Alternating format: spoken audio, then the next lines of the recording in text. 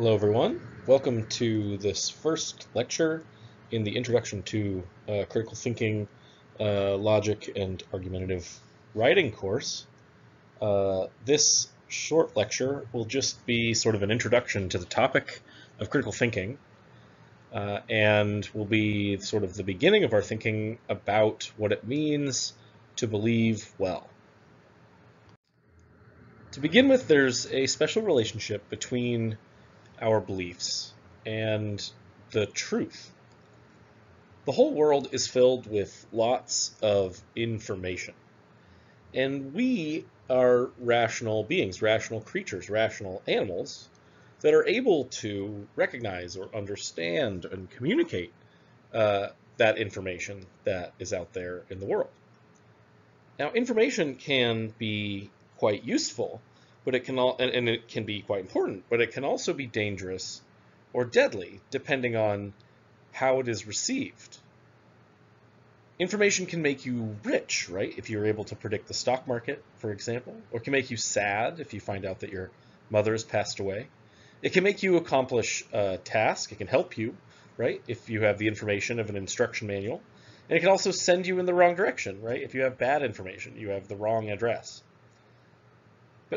Now, we use information in lots of different ways. Um, we write it down, we talk about it, we theorize about what information is correct or incorrect. Uh, we use it to mislead one another sometimes when we lie, and we assess it for accuracy. Now, under most circumstances, we want the information that we have, or we find the information that we have most useful when it's accurate, right? We want accurate information in order to be able to use it, in order to be able to act on it, rather than inaccurate information. Sometimes inaccurate information may be helpful, right? Where we know like certain inaccurate information would help someone's emotional state or something like that. Um, but in most cases, it's actually more very important that we have accurate information.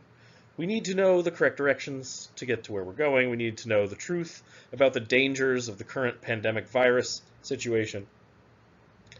We need to know the actual probability of certain events uh, that you know will occur in the future, so that we can plan for what's likely uh, and what's unlikely to happen. Now, beliefs are ultimately the cognitive or mental states that we have that express our attitudes towards whether or not certain information is accurate or inaccurate, right? If you believe if, you, if some information, if you think some information is accurate, you believe it. If you think some accurate, some information is um, is inaccurate, then you disbelieve it. You believe that it's not true. Now, like if you believe that the sky is blue, basically that means that you've taken this sort of attitude towards this bit of information expressed by the sentence "the sky is blue," and you that you know that attitude that you've taken uh, towards that information basically says that that information is accurate. Now, supposing that we want accurate information because it's useful, and our beliefs are ultimately the things that we have that are related to um, the accurate information, the uh, information that we think is accurate enough about the world, then we should really want accurate beliefs, right? That seems pretty simple and straightforward. But how do we go about gaining accurate beliefs? This might seem sort of obvious, but it's not actually that clear cut. The way that we gain some beliefs is straightforward and obvious, but not the way that we gain all of them. So some forms of information are really straightforward. They come directly to us through things, through easy methods that we are pretty sure are reliable, right? So you just you can just look at the apple and see that it's red.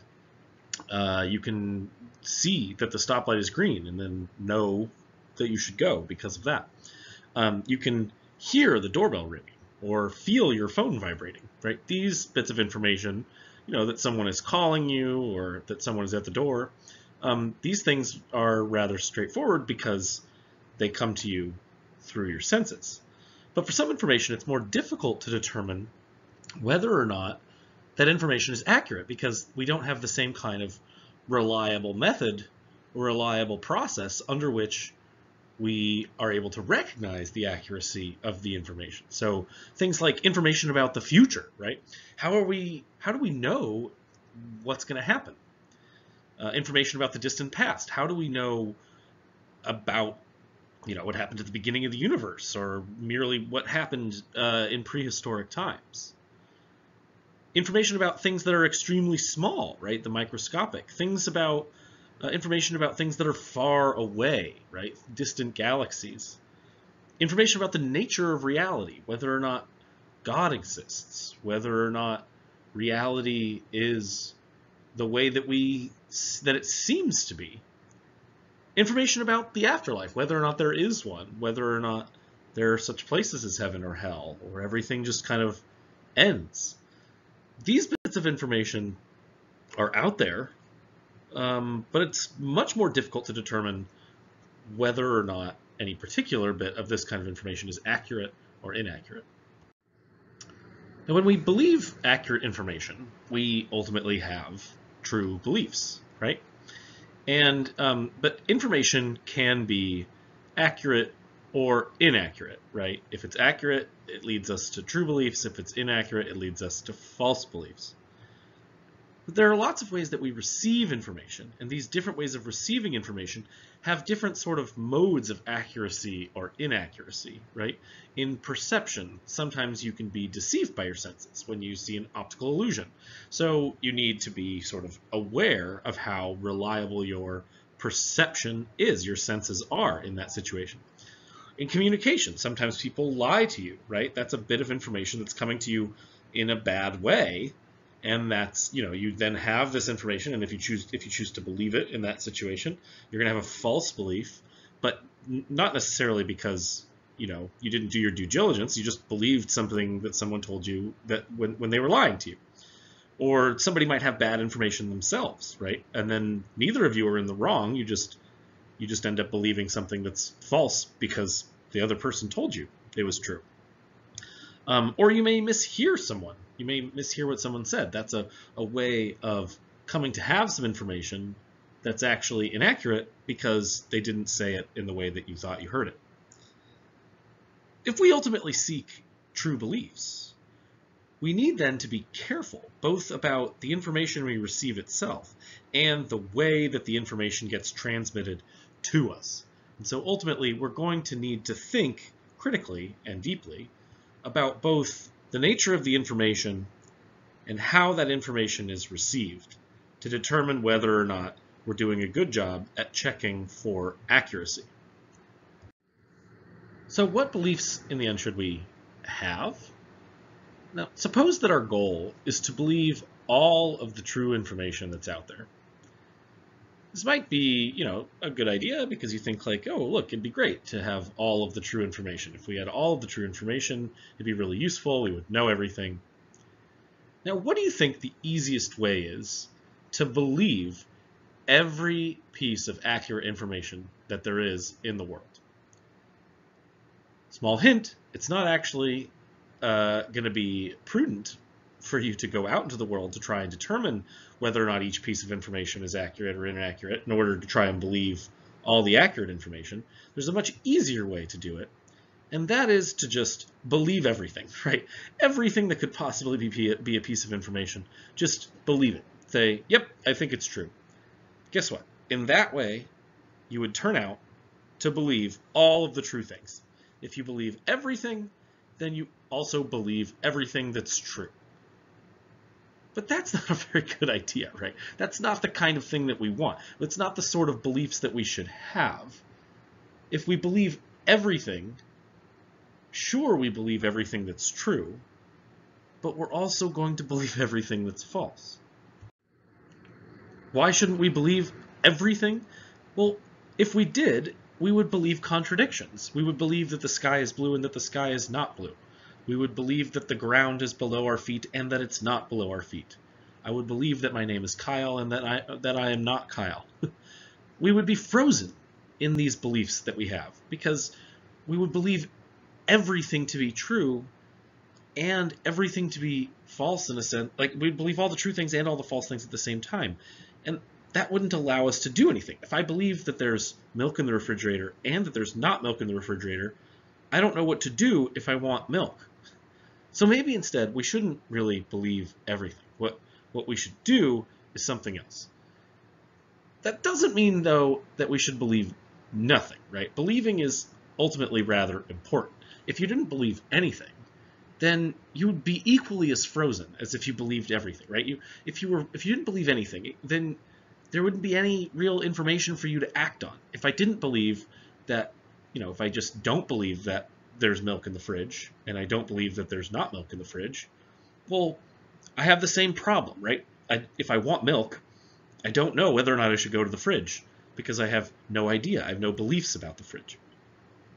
Belief and action are ultimately very closely tied together, and we need to believe some things in order to be able to act at all. So where does this leave us? We can't believe everything. We can't believe nothing. What should we be believing? How about we try to believe only the true things instead of just all the true things, right? Um, now, if we try to believe only the true things, this gives us sort of two guidelines to live by. Both the rule that we should believe everything that is true, which is the first thing. We, we, we do want to believe all the true things insofar as we can, but also to believe nothing that's false. If we take both of these together, then we can try to believe only the true things. Believing only the true things involves believing everything that is true and nothing that isn't true. Now, it may seem at this point rather pedantic to sort of draw this distinction between believing all the truths and believing only the truths. But I want to sort of be clear here for everyone that this is part of what it is to do critical thinking and philosophy. Part of being pedantic, being very clear about what it is that we mean, what it is that we're saying, and what it is that we're thinking is very important. There's ultimately a different logic to the word all than there is to the word only. The word all incorporates all kinds of things, where the word only incorporates things while restricting to a specific subcategory. And here it becomes rather important. If we're worried about what beliefs we should have, and it turns out we can't believe everything and we can't believe nothing, well, if we're worried about the truth, it seems like the kinds of things that we want to believe are only the true things. Now, whenever you believe something, you're always going to run a risk when you believe it that you're believing something false. And if we were trying to avoid believing falsehoods, there'd be another quick, easy trick to accomplish this goal, right? You just believe nothing.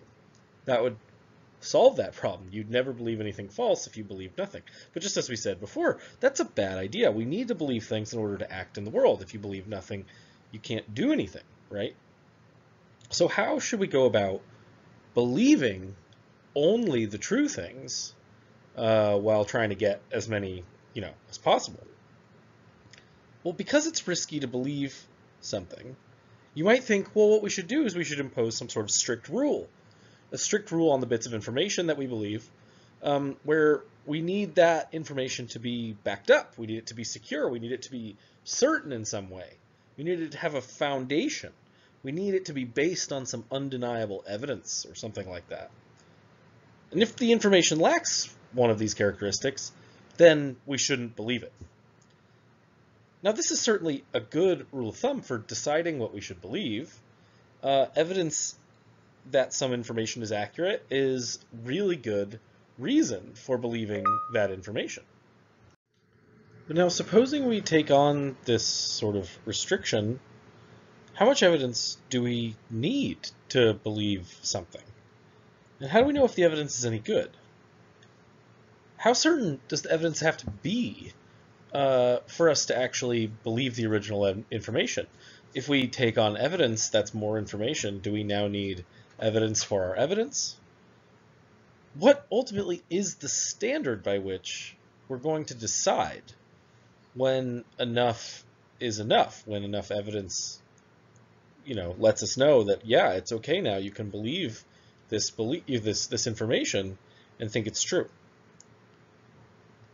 Ultimately, belief is risky because if you believe something that's false, you're you know not going to be able to act on it. But lack of belief is risky as well. For every bit of information that's out there that you decide to not believe, just as you know when you risk believing falsehoods, if you don't believe something, you run the risk of having failed to believe something that's true. So now we kind of have this two-edged sword. If we believe something, we run the risk of believing a falsehood, and if we don't believe something, we run the risk of missing out on believing a truth. So what, in the end, should we do? What should we believe? This class, critical thinking, logic, and argumentation, is an attempt to answer that sort of question. What should we do when it comes to deciding what to believe? There's a set or a bunch of steps, a process for determining, for deciding what kinds of things we should do when it come when we're confronted with information and have to decide whether or not we should believe that information or not believe that information. The answers are not exactly as straightforward as you might think. There are a set of bunch of rules that ultimately need to be followed for recognizing when some information supports other information, for thinking about what evidence counts for and what counts against certain things, and for when an argument that some belief is a good one and supported as true is really, you know, a bad argument or fails because it it fails to meet some logical requirement. In this class, we're going to be looking at a bunch of different ways that one can think about what it means to do a good job when it comes to believing the truth, whether that has to do with following the arguments or understanding probabilities or induction. Um, we always are going to be risky in in our beliefs. We're always going to risk believing things that are false. We're always going to be risking failing to believe things that are true. But just as in all sort of worthwhile endeavors of life, it's best to try to do your best. And so in this class, what we're going to be learning, really, in the end, is what it means to do well, to try your best when it comes to believing. What it is to believe well.